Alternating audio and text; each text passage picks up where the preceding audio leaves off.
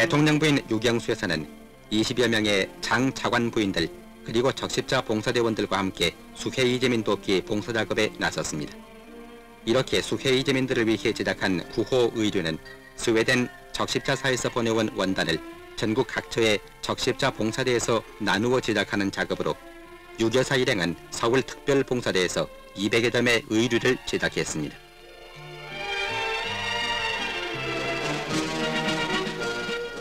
국회 차지철 의원 등 우리나라 안보 문제에 관심이 많은 국회의원들이 한국군이 방위를 전담하고 있는 중서부 전선 일대를 시찰했는데 이들 국회 유문단은 최전선 관측소까지 올라가 적진의 동태를 살핀 후에 공공부대 대형 텔레비전 셋 두 대를 기증했습니다.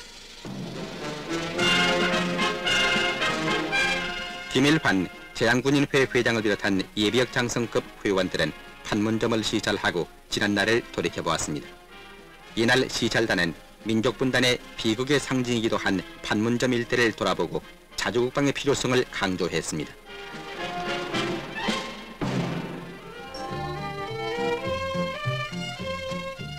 국제 로터리 클럽 375지구 회원들은 유엔군 장병들을 서울로 초청해서 친선과 유대를 교했습니다.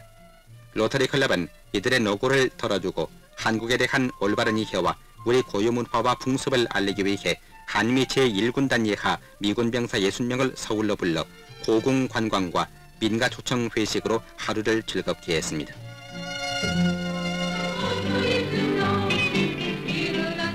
한국 수출산업공단에서는 노래하며 일하자라는 구호 아래 새로 합창단을 조직했습니다. 노래로서 협동정신을 기르자는 뜻에서 조직된 이 합창단은 수출공단 입주업체에서 근무하는 여자 종업원 40명으로 구성되었습니다.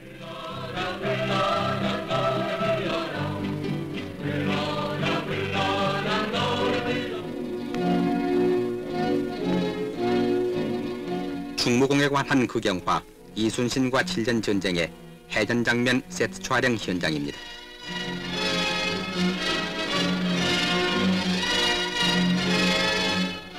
안양 촬영소에 새로 마련된 1200평짜리 부류에 수십 척의 거북선을 띄워놓고 그 옛날 충무공이 왜군을 무찌르는 장면을 카메라에 담는 것입니다.